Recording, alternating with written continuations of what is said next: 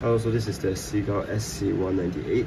So this camera is actually quite popular in China because there's a lot of um, old, new old stock for the Seagull um, SC198 in the market right now. So you can actually see it from the website and everything. And it actually it's actually quite pretty and it comes with a lot of move. The lens itself is 29mm f4.5.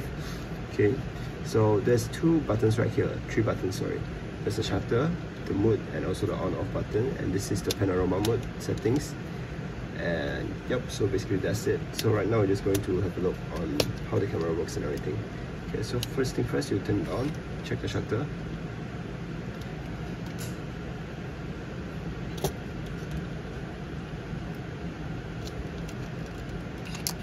Okay shutter still working as well.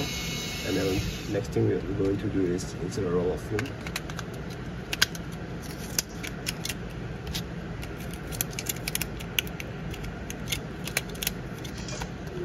make sure that it's parallel to the camera itself, the cap. And when you shoot right, you can see that the film counter, it goes up as well. Okay, so this, when it shows number one, means that the film is loaded properly already. And then you can just shoot. Okay. So you can play with the modes right here. This one is a self-timer with the flash auto. So I'm just gonna press it first.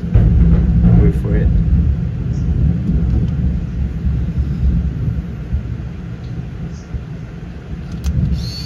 So the self timer is still working as well.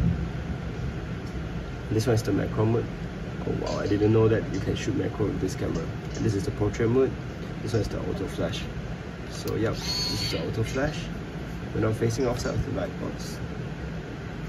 And close the flash. You can see that if the flash will be triggered. Alright. Bless you. Okay and yep basically that's all the function for the camera. And right now we're just going to do a force rewind for this camera. Oh yeah. There's a panorama mode right here. If it shows P means you are shooting in a panorama mode. If you shoot like this means you are in a normal mode.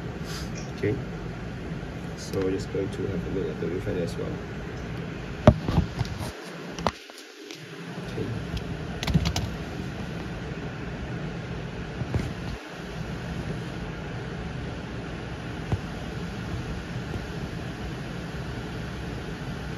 so this is what you're going to see from the viewfinder you can see that there's two straight straight line right there. That's for the panorama vlog. So you have to frame your stuff inside of the panorama with the of the line there to use the panorama mode all right so after you should finish already eventually it will start to rewind by itself lah. but right now I'm just going to do a force rewind on this camera. Wait where's the force rewind alright yeah Oh, there's no force showing for this camera. Interesting. So we're just going to shoot, um, shoot until finish now. Okay. Since I cannot find the force show button right here, so just going to shoot until finish. Okay. And it will start to run by itself like eventually.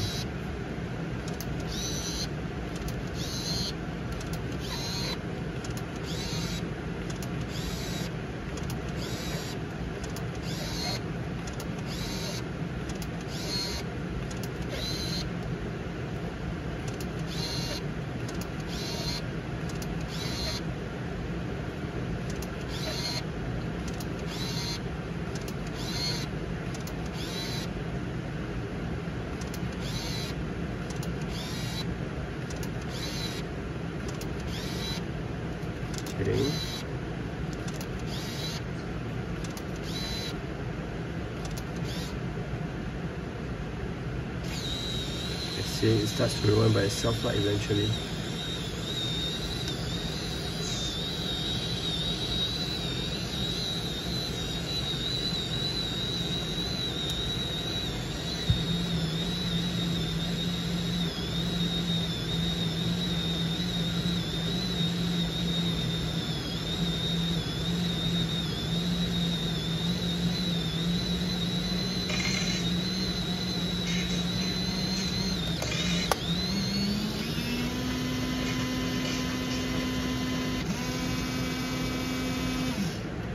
Okay afterwards you can just go ahead and take the film out. So yep basically that's it for the camera and I hope you enjoy the video. Thank you